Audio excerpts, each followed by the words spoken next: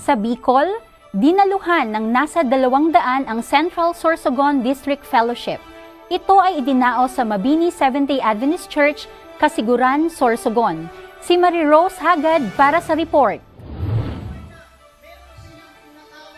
Faithfulness in Christian Lifestyle ang tema ng kasalukuyang isinasagawang Central Sorsogon District Fellowship dito sa Mabini Seventh-day Adventist Church, Kasiguran, Sorsogon may halos dalawang daang delikado ang dumalo sa nasabing pagtitipon.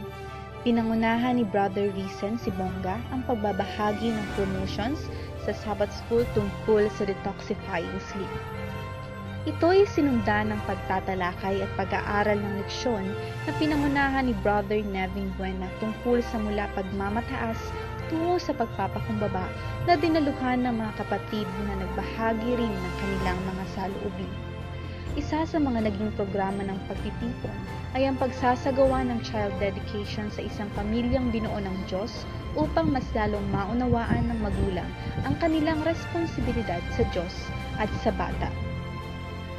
Sa kabila ng kawalan ng mahukuang speaker, pinagpalang lubos naman ng pasasalamat ang district pastor ng Sorsogon na si Pastor Albert Dichoso sa Blessings in Disguise na speakership niya at sa di matawarang suporta ng kapatiran sa tagumpay ng isinagawang pagtitipon.